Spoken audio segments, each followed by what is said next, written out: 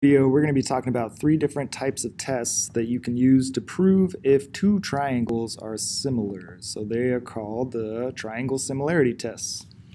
Similar to uh, triangle congruency tests, they're named using letters that correspond to the parts on the triangle. So A represents angle, S represents a side. So the first type of similarity test we can use is called angle-angle. It means that if we have two corresponding angle measures that are equal in two different triangles, then those two triangles must be the same shape but maybe a different size. So they are similar triangles. Remember that angles create the type of shape. So if triangles have the same angles, then they must be the same type of triangle. That doesn't, however, mean that they are the same size so that is why this is a similarity test and not a congruency test. If you're given two angles that are the same, well then that must mean that that third angle measure is going to be equal.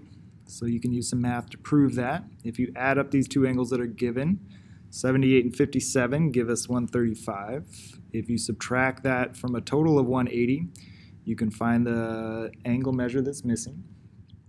So we know that this angle is 45 degrees. And so as you can see over here, if these two angles are the same, well then we must be missing the exact same measurement. So that is why we only need to know two angles. The third angle measure will be the same as long as two angles are the same. Now be careful though, on a quiz or a test you may see something trying to trip you up. What if instead of 78 and 57 we had been given 45 and 78 in this triangle. And then in this triangle, we were given 57 and 78. Now you may be looking at those two angles and saying, well, they're not the same, so it's not similar triangles. So be careful. Always find that third angle measure because it may be the missing piece to say that they're all the same measures. Another type of similarity test is called side angle side. This is if you have two corresponding sides and an angle in between Let's check their relationship of those parts. The angle in between is going to be congruent. In similar shapes, angles are congruent. But this time the sides are not going to be congruent. So I know on your note paper maybe there were congruency marks right there. Take those off, erase those, or scratch them out. They're not supposed to be there. The sides on either side of the angle here need to be in proportion. So they're not going to be congruent, they're going to be proportional. So what you want to do is you want to check their corresponding ratios. So comparing 6 to 12, is that equal to comparing 7 to 14? Well, yeah, those are equal ratios, so the side lengths are in proportion. This triangle is just two times bigger than this triangle. I know it's not drawn to scale, you just have to look at the measurements instead.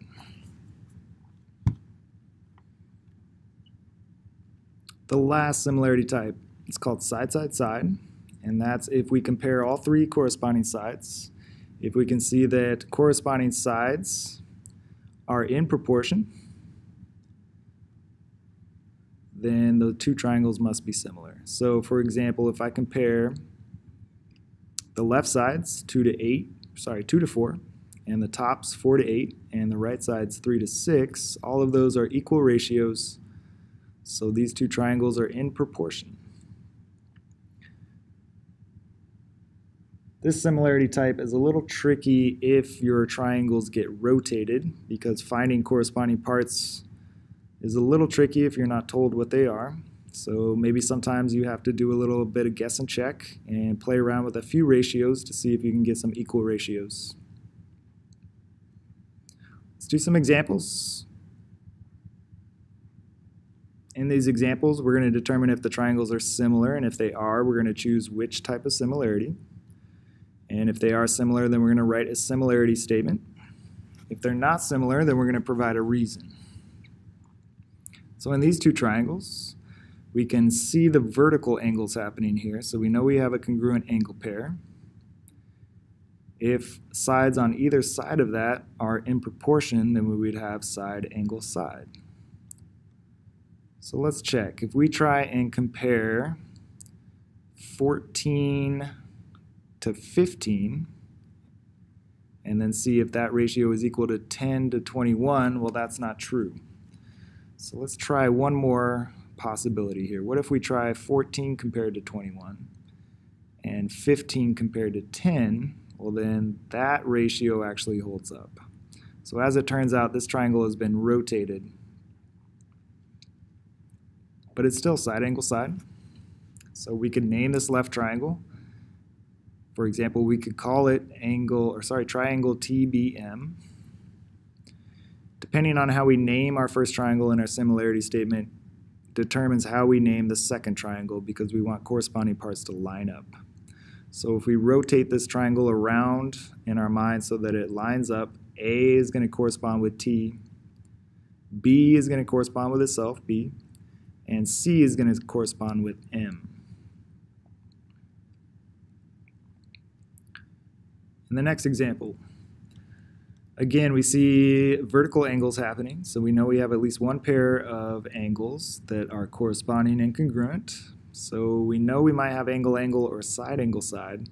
I don't have any side measurements, so I'm guessing I probably may be trying to prove angle angle, except I'm missing an angle pair. So if you notice that there are arrows on the sides here, those symbolize parallel lines. So I have parallel lines cut by a transversal here. There's two transversals, but we're going to focus on ST because what we can see there is that we have these alternate interior angles and those are congruent. So now we have two pairs, which means that that third pair is going to automatically be congruent. And we have angle-angle similarity. If we name the first triangle, triangle TPQ, well then we just have to name the next triangle so the corresponding parts line up. Make sure that T corresponds with S, P corresponds with R, and Q corresponds with itself. All right, one more example here. This time we're given two triangles and all three side lengths for each of them. So I'm assuming that I might want to try and prove side, side, side. But here's an example of where it gets a little tricky because one of the triangles has been rotated a little bit. So I'm not sure how it's been rotated, so I got to play around with my ratios for a little bit. Eventually, though, we should be able to see that 6 compares to 9, and 8 compares to 12, and 10 compares to 15. So if I set those up as ratios, they are equal ratios, so all three sides are in proportion. In doing that, I can also maybe label my corresponding angles because that's going to make labeling or naming my triangle a little bit easier.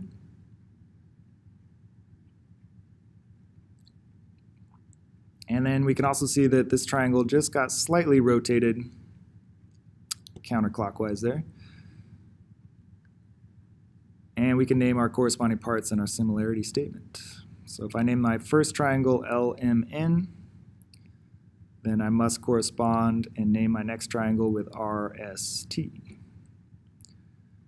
All right, so there's some examples using those three similarity tests. Just be able to recognize them, and if they are similar, be able to complete a similarity statement.